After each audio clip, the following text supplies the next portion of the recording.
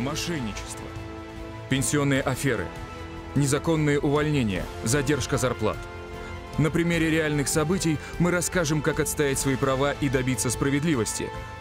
Сила в правде. Смотрите документально-правовой проект Генеральной прокуратуры и интернет-телеканала «Царьград».